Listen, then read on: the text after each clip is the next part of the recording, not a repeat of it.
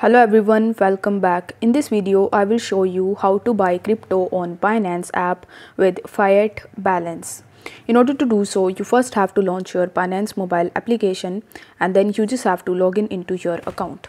Now once you have successfully logged in, you need to tap on this wallets tab in the bottom right hand corner of the screen. Over here, you need to tap on funding. Now once you tap on funding, you will be able to see all of the coins that you hold as well as your own currency as I live in India and it is also showing me the INR. So you need to make sure that you have enough balance in your fiat wallet.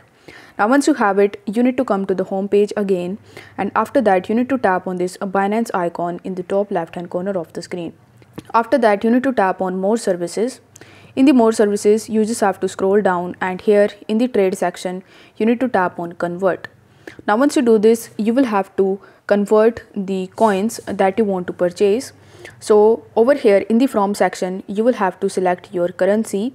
So let's say you have USDT in your fiat wallet. So you will have to select USDT after that you, in the to section you will have to enter the coin that you want to purchase. So let's say you want to purchase ethereum. So you just have to select ethereum after that you need to enter the amount that you want to purchase and it will convert it and show you automatically. Then you need to tap on preview conversion in the bottom and it will show you the transaction fees the pay form and the type as well as the rates of ethereum as of right now.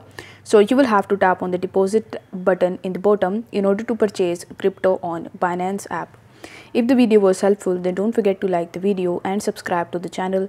Thank you so much for watching